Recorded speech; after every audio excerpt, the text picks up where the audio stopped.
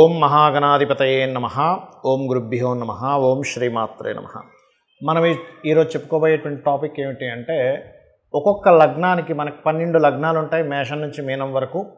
ఒక్కొక్క లగ్నానికి మీకు ఏదైనా ఇబ్బంది రాబోతుంది అన్నప్పుడు ప్రకృతి ఇచ్చేటువంటి సంకేతం ఏమిటి?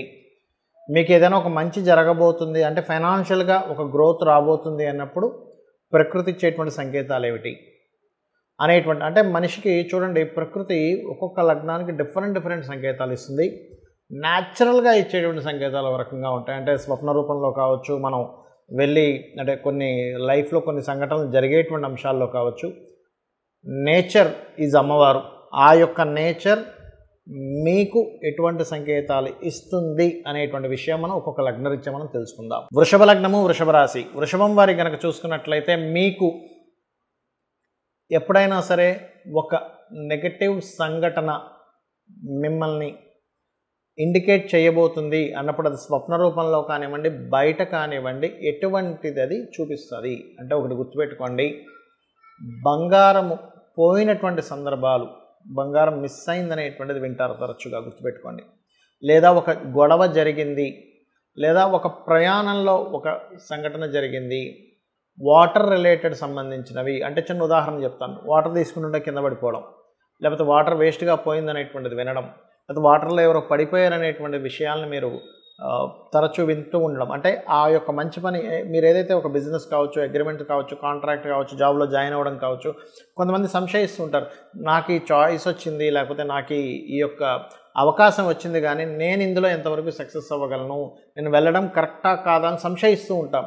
మీరు సంశయిస్తున్నప్పుడు మీరు నిత్యం అమ్మవారిని కనుక ఆరాధిస్తున్నట్లయితే ఆ యొక్క సంశయానికి అమ్మవారు వెరీ క్లియర్లీ ఒక ఇండికేషన్ ఇస్తుంది వృషభ లగ్నం వారికి. నేను చెప్పినటువంటి ఇండికేషన్స్ మరి పాజిటివ్ ఇండికేషన్ ఏదో ఒకటి ఉండాలి కదండి. అంటే ఇక్కడ పాజిటివ్ ఇండికేషన్ ఏమిటి అంటే బయట మీకు బంధువర్గం నుంచి ఒక మంచి న్యూస్ వింటారు. లేదా చిల్డ్రన్ నుంచి ఒక మంచి న్యూస్ వింటారు. కుటుంబ సభ్యుల్లో ఉండే వాళ్ళతో ఒక మంచి న్యూస్ వింటారు.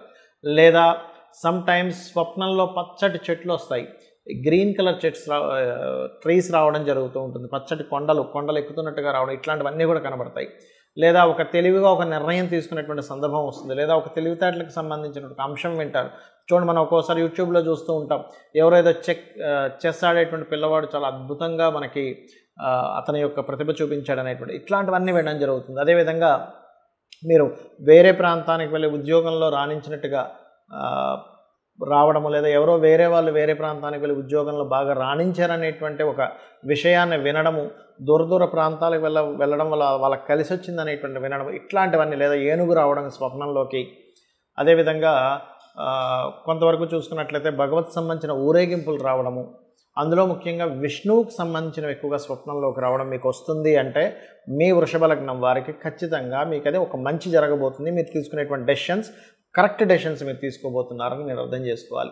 అయితే మరి మీకు ఒక్కొక్కసారి సమ్ టైమ్స్ ఏమవుతుందంటే కొన్ని డెసిషన్స్ మనకు అలా కనబడ్డా తీసేసుకొని ముందుకు వెళ్ళిపోతుంటాం.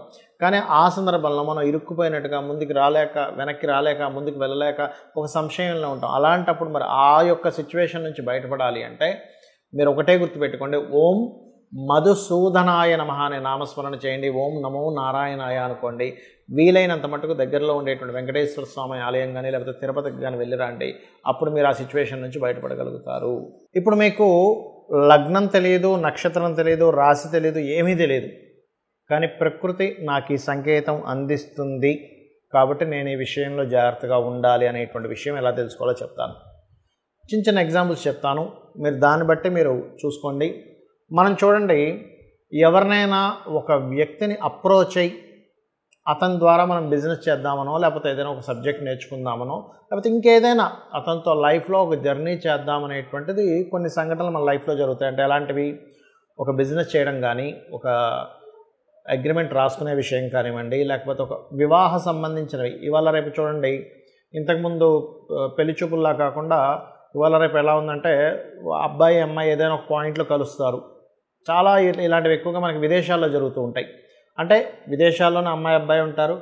వాళ్ళు ఇక్కడికి రాలేరు కాబట్టి వాళ్ళు ఏం చెప్తారు? వాళ్ళకి ఫోన్ నెంబర్స్ ఎక్స్చేంజ్ చేసి చెప్తారు. మీ ఇద్దరు ఒకసారి కలవండి ఒకసారి మాట్లాడుకోండి లేకపోతే ఒకసారి ఫోన్లో మాట్లాడండి ఆన్లైన్లో మాట్లాడండి. అలాంటప్పుడు మీకు ఆ పార్ట్నర్ని ఎంచుకునే విషయంలో కావచ్చు అది లైఫ్ పార్ట్నర్ బిజినెస్ పార్ట్నర్ అంశంలో కావచ్చు తరచూ మీకు ఏదో ఒక ఆటంకం జరుగుతుంది ఆ ప్రయాణంలో. అంటే అక్కడికి వెళ్ళేటువంటి పరిస్థితుల్లో కావచ్చు ఆ ఫోన్ కాల్ రిసీవ్ చేసుకునే పరిస్థితిలో కావచ్చు. అది మీకు సరైనటువంటి సంబంధం కాదు అని మీరు అర్థం చేసుకోండి. అదేవిధంగా ఒక్కొక్కసారి మనం కొన్ని కోర్సెస్ చేస్తుంటాం. ఆ కోర్సెస్ చేసేటప్పుడు కూడా మనకి ఆ ఫలానా డిపార్ట్మెంట్ వాళ్ళకి ఫోన్ చేసినప్పుడు లేకపోతే వాళ్ళని మనం కన్సల్ట్ అయినప్పుడు సరైనటువంటి డిస్కషన్స్ అవ్వట్లేదు. ఏదో ఒక చెడు అంటే అదే టైంలో ఏదైనా గొడవ జరగడము అదే టైంలో ఒక ఒక్కోసారి ఎలా ఉంటుందంటే మనం ఒక పని చేసే ముందు దానికంటే ముందు ఒక నింద అనుభవించడం కానీ ఒక ఇబ్బందికరమైనటువంటి వాతావరణం కానీ వచ్చి దాని తర్వాత వస్తుంది దాని రిజల్ట్ అనేటువంటిది. అలా ఉన్నప్పుడు కూడా మీరు పర్టికులర్గా గుర్తుపెట్టుకోండి ఇది సంథింగ్ ఈజ్ గోయింగ్ రాంగ్ అలా కాకుండా మీకు ఒక మంచి జరిగింది ఒక ఒక హ్యాపీ మూమెంట్ ముహూర్తం అనేటువంటిది ఎలా ఉంటుందంటే మనకి ఉత్సాహం ఎప్పుడైతే వచ్చిందో మనకి ఎప్పుడైతే ఆలోచన వచ్చిందో అది స్టార్ట్ చేయడమే గొప్ప ముహూర్తంగా చెప్తూ ఉంటారు. ఆ రకంగా ఇక్కడ ఏంటంటే మీకు గనక ఈ యొక్క విషయాల్లో మంచి జరిగిన వెంటనే మీరు ఒక నిర్ణయం తీసుకున్నారు ఇట్స్ గివ్స్ గుడ్ రిజల్ట్ గుర్తుపెట్టుకోండి. ఆ రకంగా మనకు ప్రకృతి అనేటువంటిది ప్రకృతి అంటే ఎవరో కాదు అమ్మవారు. ఈ విషయాన్ని బాగా అర్థం చేసుకోండి. అమ్మవారే ప్రకృతి. ఆ శక్తి అంటే మనకు కనబడుతున్నటువంటిది మొత్తము కూడా ఈశ్వరుడు అనుకుంటే అందులో ప్రసరిస్తున్నటువంటి శక్తి ఏదైతే ఉందో అది అమ్మవారు. ఈ రకంగా మనకు ఒక్కోసారి స్వప్నంలో కూడా వస్తుంది. అయితే దుస్వప్నాలు మంచి స్వప్నాలు అనేటువంటి ఉంటాయి. దానికి ఆల్రెడీ నేను మీకు కొన్ని వీడియోల్లో దాని యొక్క పారామీటర్స్ చెప్పాను. పొద్దున్న ఊహించుకున్నది లేకపోతే మీరు అనుమానించింది ఒక దాని గురించి మాట్లాడింది. మీరు అనుభవించినటువంటి విషయం పొద్దునంతా ఏదో ఒక జర్నీ చేశారు ఒక వాటర్ దగ్గరికి వెళ్ళారు లేకపోతే సముద్రం దగ్గరికి వెళ్ళారు. అటువంటివి ఏవైనా సేమ్ కళలోకి వస్తే దాన్ని స్వప్నశాస్త్రపరంగా తీసుకోకూడదు. ఇవేవి కాకుండా మీకు స్వప్నంలోకి రావడము అనారోగ్యంతో లేకుండా ఆరోగ్యంగా ఉన్నప్పుడు వచ్చినటువంటి స్వప్నము అది కూడా సమయాన్ని బట్టి రాత్రి ఏ టైంలో వచ్చిందా లేకపోతే ఎర్లీ మార్నింగ్ వచ్చిందా అర్ధరాత్రి వచ్చిందా అనేటువంటి చూసుకోవాలనేది కూడా నేను మీకు గత వాటిలో చెప్పాను.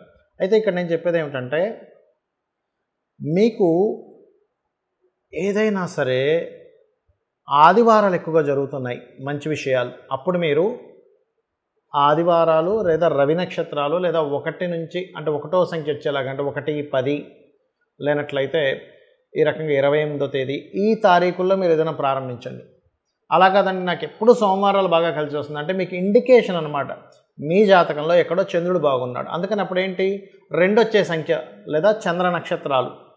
ఇప్పుడు రవి నక్షత్రాలు అంటే ఏమిటి? సర్వసాధారణంగా కృతిక ఉత్తర ఉత్తరాషాఢ. చంద్ర నక్షత్రాలు అంటే రోహిణి హస్త శ్రవణం. ఈ రకంగా ఈ నక్షత్రాలు లేదా ఈ వారాలు అయితే ఇక్కడ ఒక చిన్న జాగ్రత్త తీసుకోవాల్సింది ఏమిటంటే ఆ నక్షత్రాధిపతి చంద్రుడు ఆ రోజు బాగున్నాడో లేడో ఒక్కసారి చెక్ చేసుకోండి. ఇది వేటి వేటికి మనకు వస్తుంది మీరు చూడండి వాళ్ళ రేపు చాలామంది చేపల చెరువులని రొయ్యల సంబంధించినవని బిజినెస్ సంబంధించినవని నష్టపోతూ ఉంటారు. ఆ రోజు మీరు ఆ సమయంలో కనుక ప్రారంభించినట్లయితే ఖచ్చితంగా మీకు ఆ డే ఆ నక్షత్రము ఆ యొక్క నెంబర్ మీకు సపోర్ట్ చేస్తుంది బాగా. అదేవిధంగా మంగళవారాలు మీకు బాగా కలిసి వస్తున్నాయి అనుకోండి మంగళవారాలే ప్రారంభించండి. అదేవిధంగా నైన్ నెంబర్ వచ్చేలాగా. మరియు మృగశిర చిత్త ధనిష్ట ఇలాగా కుజ నక్షత్రాలు అయితే కుజ సంబంధించినటువంటివి. అయితే ఇక్కడ ఏంటంటే మనకి శాస్త్రంలో పలానా నక్షత్రం పలానా దానికి మంచిది అని చెప్పారు. దీని మీద నేను మీకు నెక్స్ట్ వీడియోస్లో చేస్తాను. ఏ నక్షత్రం దేనికి పనికి వస్తుంది దేనికి సంబంధించిన స్ట్రెంత్ దేనికి ఉంది అనేటువంటిది అది నేను మీకు నెక్స్ట్ చేస్తాను. అయితే ఇక్కడ ఏంటంటే మన లైఫ్ ఏదైతే ఉందో ఎవ్రీ సెకండ్ ఎవ్రీ మినిట్ మనం తీసుకునే నిర్ణయం మీద ఆధారపడి ఉంటుంది. మనం అనుకుంటాం మనం నిర్ణయం తీసుకుంటున్నామని కానీ మన నిర్ణయం వెనకాతలు ఉండేటువంటి అద్భుతమైన శక్తి ఏదైతే ఉందో అది అమ్మవారు మనకెప్పుడు కూడా కనెక్ట్ అయి ఉంటుంది. అయితే మనకు కంప్లీట్గా కనెక్ట్ అయ్యి ఉండాలి అంటే మీరు అమ్మవారితో ఎప్పుడు మాట్లాడుతూ ఉండాలి. అంటే అలాగా మీరు ఏదైనా ఒక పని చేసేటప్పుడు నేను చేస్తున్నాను అమ్మ నాకు ఇది మంచా కాదా నువ్వే నిర్ణయించు అన్నప్పుడు ఏం చేస్తుందంటే అమ్మవారు ఖచ్చితంగా అక్కడ కనెక్ట్ అవుతుంది. అలా కనెక్ట్ అయ్యి మీకు ప్రతి అంశంలోని ప్రతి అడుగులోని ప్రతి దీంట్లోని మీకు సపోర్ట్ చేస్తూ ఉంటుంది. తద్వారా మీరు ఎప్పుడు సక్సెస్ రేట్లో ఉంటారు. కాబట్టి మీరు చేయండి ఖచ్చితంగా మీరు లైఫ్లో సక్సెస్ అవుతారు. దీంతో పాటు ఉదయము సాయంత్రము కూడా లలితా సహస్రనామాల యొక్క శ్రవణము లేదా పఠనము చేయండి. నూటికి నూరు శాతము లలితా సహస్రనామాల వాళ్ళ యొక్క శ్రవణం కానీ పఠనం కానీ చేసినప్పుడు ఏమవుతుందంటే మన కర్మలన్నీ కూడా మన ఆరాతో కనెక్ట్ అయి ఉంటాయి మన షట్చక్రాలతో కనెక్ట్ అయి ఉంటాయి. ఆ ఆరాలో ఉన్నటువంటి బ్యాడ్ కర్మాస్ ఏవైతే ఉన్నాయో ఈ యొక్క లలితా సహస్రనామాలు కానీ లేకపోతే విష్ణు సహస్రనామాలు కానీ ఆ యొక్క తరంగాల ద్వారా అవి క్లియర్ అవుతాయి. మన చుట్టూ ఉన్నటువంటి ఆరా మన యొక్క సక్సెస్కి మన యొక్క ఫెయిల్యూర్కి కనెక్ట్ అవుతుంది. మీరు ఎప్పుడైతే దాన్ని క్లియర్గా పెట్టుకున్నారో మన నిర్ణయాలు మన సక్సెస్ రావడం ఇవన్నీ కూడా అద్భుతంగా జరుగుతాయి. అమ్మవారి యొక్క అనుగ్రహం మీకు కలుగుతుంది. శ్రీమాత్రే మహా